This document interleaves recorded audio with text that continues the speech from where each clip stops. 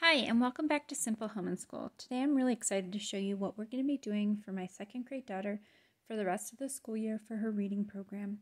I had mentioned earlier we did the Memoria Press second grade literature guides, and she really breezed through them. Um, I was not meeting her reading or her comprehension level. I feel like I'm starting to get there now in reading um, and meeting her comprehension level. Um, she's a very fluent reader. She's definitely on a very high reading level, but I want to meet her where she's at with her comprehension. So, what I decided to do is I really wanted to stick with classical literature. So, I went on memoriapress.com and veritaspress.com and I made a list of the classical literature that they have for those grades. And um, we've already read Sarah Noble. We're about to read Little House in the Big Woods. We've read the Beatrix Potter books, and these are the Veritas Press books. So, what I'm going to be doing is I'm going to be looking for free literature guides online for these other books for the rest of our school year. And if we cruise through those, I wrote down the third grade ones, and I'm going to start looking for free literature guides online for those as well. If they have a check mark, I have already found a literature guide for them. So, what I have here is um, just a reading level guide. So, as I look up these books here on the left. I am also looking up their reading level so I can put them in order according to their reading level. And you can look up this for free online. Just Google uh, reading level chart and it'll have the different ways that you can find a reading level. So First thing I want to do is since she worked really hard and just cruised through those books is I'm going to be doing a little bit more relaxed approach to her reading for her next two books. I feel like my daughter really grows in her reading um, when we do more of pleasure reading. So I want to kind of focus on more of a pleasure read for the next two books. So we're going to be doing The Adventures of Milly, Molly, and Mandy and Little House on the Prairie and we'll just be doing one chapter at a time. We'll be doing Little House on the Prairie first, and then this is the storybook treasury. So, depending on how much she likes it, we'll do one, two, or all of the stories. We'll just kind of go with the flow with that.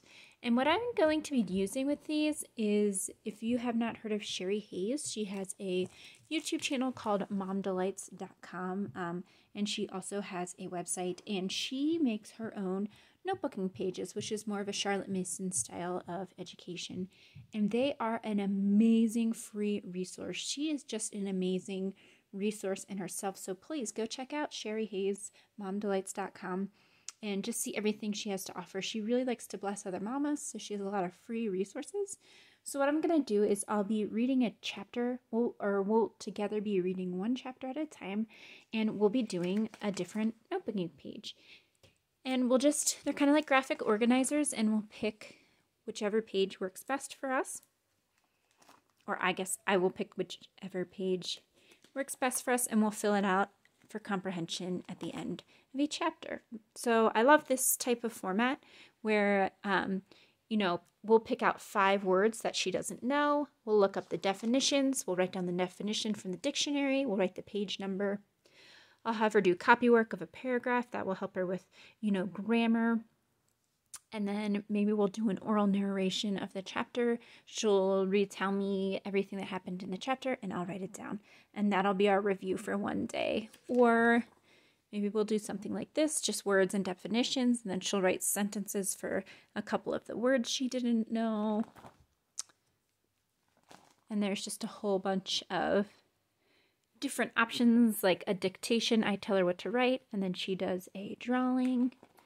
So here's a bunch of different things that we'll do. I also have um, a book that I photocopied that I bought, and I photocopied the pages because it was just easier to reuse them. You were allowed to photocopy them, and these are just a bunch of different graphic organizers that you can just Google for free, you know, a cause and effect chart online. Um, but these are another great way just to really dissect what you're reading. So we might do some of these at the end of each chapter. Here's just a couple of ideas of different ones that you can do. And I'll quickly flip through those. And this is just really getting into the higher order thinking of each chapter. And it will, you know, really depend on the type of text that you're reading, which would be appropriate for your student. But I think there's a student mapping one at the end. KWL chart. Uh, like these. I like the character trait web, the name, the trait, proof for their trait, cause and effects. This character map is the name, what a character says and does, what others think about the character, how you feel about the character, how the character looks and feels. So here's a great options for an easier way to do comprehension, but you really are getting in depth with the chapter, but you're not just sitting and just doing rote questions.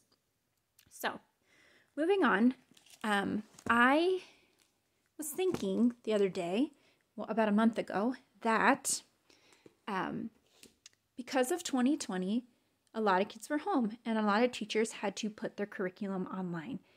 And a lot of teachers and school districts put their curriculum online for free access. And what I did is I started looking up texts from my classical literature list and I, Google, I would Google the text. So I Googled Pippi Longstocking comprehension questions and I started finding, finding just a slew of great quality material. So here's a teacher that put together this novel guide for Pippi Longstocking, and it is amazing, amazing quality, and it's free online. If you just Google this, um, Pippi Longstocking and her name, you will find this. And check this out with me. So, she has quick questions, she has comprehension questions, she has you doing a comic strip to summarize the story.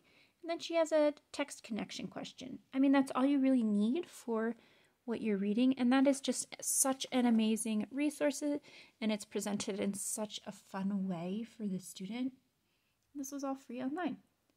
So I printed this up for my daughter, and this will be what we will do after those first two texts. So here's just a quick overview of some of the chapters. And next one, if you Google Charlotte's Web and you Google um, comprehension questions for Charlotte's Web, you will find so much stuff you may be overwhelmed. Um, I picked up the book at the thrift store for a dollar, and I got so much stuff. I'll decide once we get to this book what we'll use. So here's a great little resource, just pre-reading questions and these were um, character problem and solution chart that you can just keep available while you're reading. Here's character note chart, which is kind of like one of those graphic organizers, which is awesome way just to dissect your character. So I printed one of those for each character. And here is a website that a Texas school district put up for their novel study for Charlotte's Web. So it's the same format for each chapter, just comprehension questions, but also still a great resource. And I printed, I think, one more guide.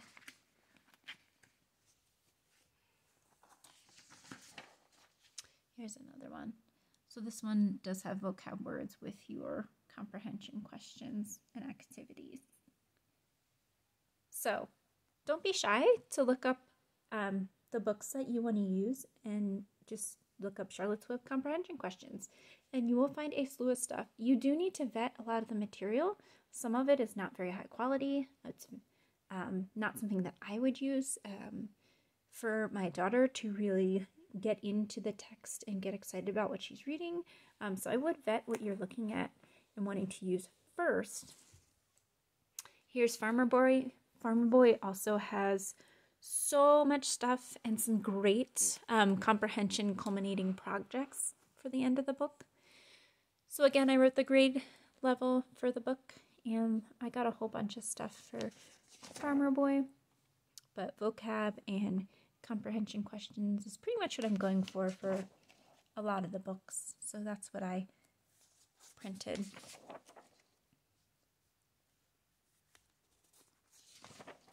These ones had background information on each chapter, which was a lot of fun. And another book I found work for is The Borrowers. This one's pretty basic, so I definitely will either keep it basic or I'll add some of Sherry Hayes, momdelights.com notebooking pages to do with these. This is the same format for each chapter, just a couple vocab words and two or three comprehension questions for the borrowers. And Mr. Popper's Penguins had a handful um, of stuff online. So here's one that's just journal questions that I thought was a lot of fun, where maybe my daughter could pick one or two of the journal questions that she would want to answer. And then also we have this comprehension guide that just looks like it was a lot of fun. The character trait charts, just like Charlotte's Web, I really liked that. So here's another option. I just have one more to show you. I have Stuart Little. And this was a really big guide, vocab and comprehension questions, kind of like what I said. Just focusing on this vocab, comprehension, illustrating an event and writing about it. Just kind of mixing it up a little bit. Sequence events, activity, vocab and comprehension. So that's what I have. Um, I only really expect to get through Little House on the Prairie and Milly Molly Mandy. And if my daughter's really cruising through the books, we'll just keep going because I know she'll want to read just keep reading them because she is an avid reader. So, once again, don't forget to check out momdelights.com for free notebooking pages and just Google any book you want to use and um, look up comprehension guides. If you don't find any comprehension questions, don't be afraid to pre read the book by yourself and write down your own vocab and your own questions that you want to use, or just use graphic organizer pages to really dig into a specific area that you want your child to learn, whether that be um, text to self connections, um, text to life connections, or um, really dissecting a character and their traits or cause and effect. Um, so that's all I have for you today. Let me know if you have any questions about what I'm doing or where I got resources for any of the literature guides. Um, this is just a great free resource. Don't be afraid to invest some time to look up some great free resources that you can use your children because they're out there. You don't need to reinvent the wheel, uh, they're available. Um, you just need to put in a little bit of time to look them up and have a printer. So, thanks for watching. Bye.